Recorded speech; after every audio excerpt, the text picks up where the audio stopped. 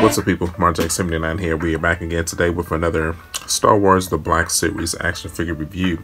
The main focus is going to be the Armorer from Star Wars The Mandalorian.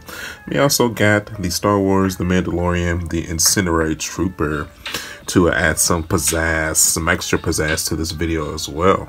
So, let's go take a look at her in the package here. It looks really good. This is kind of like the trainer armor that makes all the Mandalorian's weapons and armor, so on and so forth. So, very happy to get this figure in. Picked her up from Target, 1999. Yeah, I've got her with her tools here. Also, be can be her weapons. you know what I'm saying? Spin it to the side here. Bing. Really cool. The Armorer plays a vital role in keeping the culture of the Mandalorians alive. She forges Beskar armor in the ancient tradition of her people.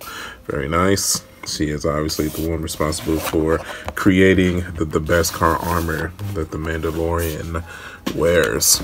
We have the, to trooper here. Looks really cool. The package has a huge flamethrower there. Got a flamethrower effect. Can't wait to bust this one open. Spin it to the back here.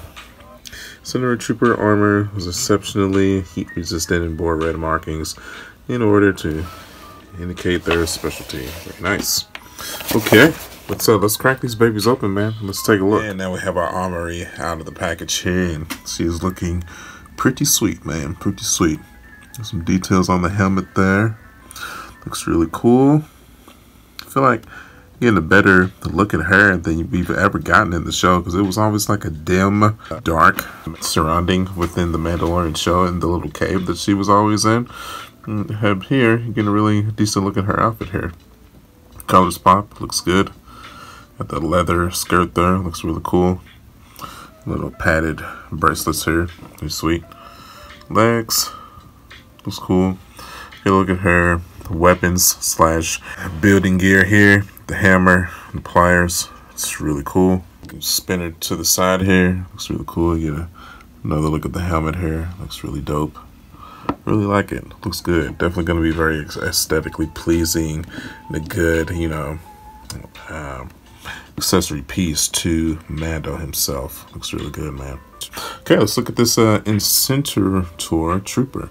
Helmet looks cool. The red paint on there blue stripes, silver stripes at the top, pretty sweet. Red shoulder plates, red uh, stripes on the armor there. The big gun, the flamethrower itself, pretty sweet. There, spin it to the back here. Has his little gas. It's like kind of got like a first order symbol there. Pretty neat. Red shoulder pads, red thighs red ankles. Pretty cool. One thing is this figure sometimes has a tough time to stand. He's pretty top. He's pretty top heavy. So keep that in mind. This flame effect here. We'll plug that in in just a second to give you guys a look. Head. Down. Up. Rotate 360 degrees. Now, obviously, this little fur piece can come off. I'll show you the back of that here real, real quick. Oh, no. See? Pretty, pretty sweet. But head, rotate 360 degrees, tilt right, left, down, up. There you go. Uh, I'm trying to take this helmet off. I feel like I've seen this helmet come off, but I'm, I'm not going to force mine though. So I actually want to keep my figure intact. you know, so we'll just leave it at that. Arm, go up that much. Kind of got to push it outwards to get the full 360 rotation though because of the uh, shoulder here. Kind of hinders it a bit. Can go up though, as you can see. Pretty cool. Push that back down.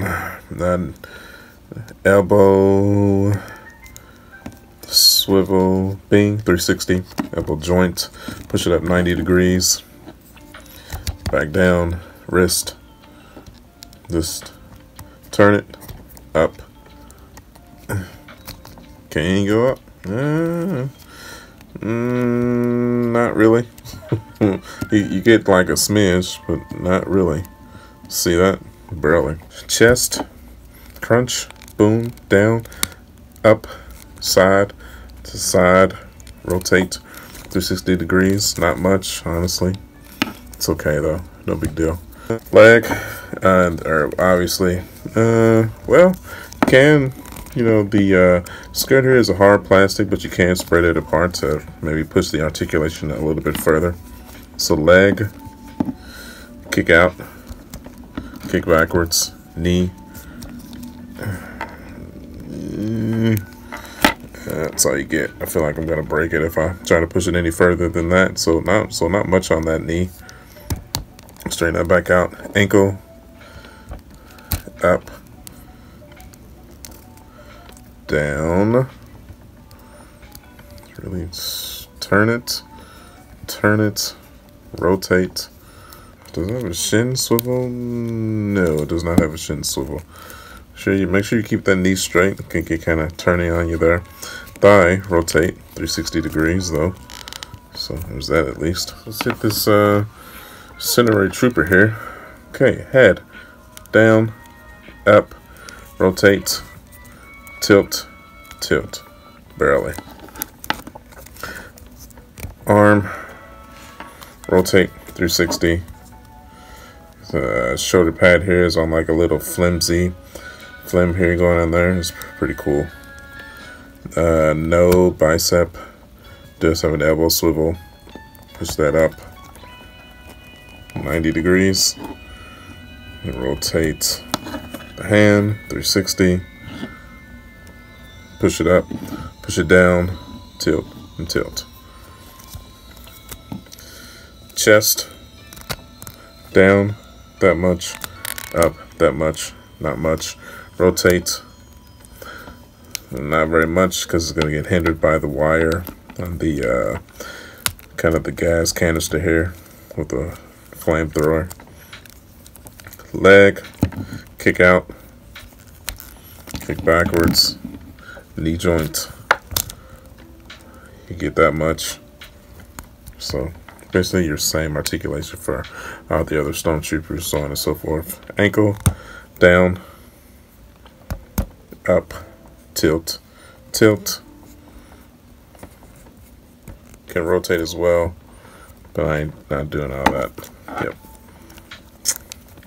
Now with this side, it's going to be a little bit hindered because the wire is the holding the flamethrower here. It gets the job done. You just gotta angle it up a little bit here. Make sure you angle it right. So I wish he would have came with like a hand to, like a holder to actually hold the bottom of the flamethrower correctly. But because this doesn't fit in this in this hand here, you kind of just gotta force it a little bit.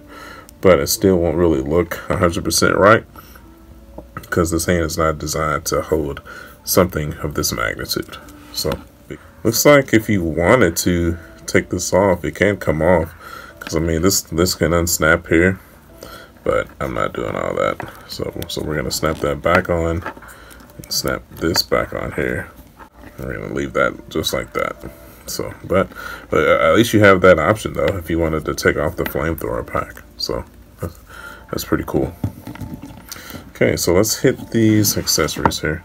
Okay, and now we have the Armorer with her tools here, or her weapons, whatever you want to call them, her hammer and her pliers. Looks really good.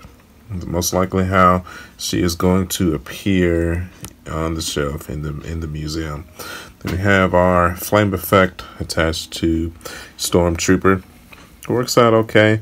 Makes it a little bit tough to stand out. You have to angle those legs just right so that he can be properly able to stand with the accessory attached. So, looks good, man.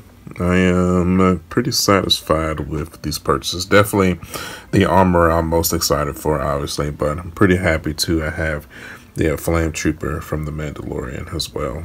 So, okay, I think that's going to do it, man. So let's go ahead let's take these puppies down to the museum and let's finish out here. And we're back, man. So now we've placed our Incinerator Trooper at the bottom. Not really necessarily at the, the main shelf. I just really didn't have a place for them. So let's put them at the bottom. Some Disney, some other Star Wars stuff here. Got, some holocrons here at least. The boxed Mandalorian. Some Galaxy's Edge stuff. Lightsabers. Oh yeah. Then we have the Armorer right here behind the Black Series Mando and the child, and then Ahsoka, Cal Kestis. So really like how that turned out. Yeah, man. That's really it, dude. I mean, you know, these are definitely not like must-haves in a Star Wars collection, but you know, it was just a cool character that I really like, especially that scene when she just took out all those stormtroopers. It's really what sold it for me to go ahead and pick this figure up. All right, man, I'm I I'm Star Wars Alpha right now. I've uploaded a ton of Star Wars stuff in the past couple of weeks, so we're definitely gonna take a break on Star Wars right now and focus on some other stuff, man. So stay tuned for that. So as always, you can follow me at youtube.com slash marcjack79. I'm also on Facebook, Instagram, and Twitter. So support the channel, please. Well, yeah. And as always, I will see you guys on the next one. I'll catch you guys later. Bye.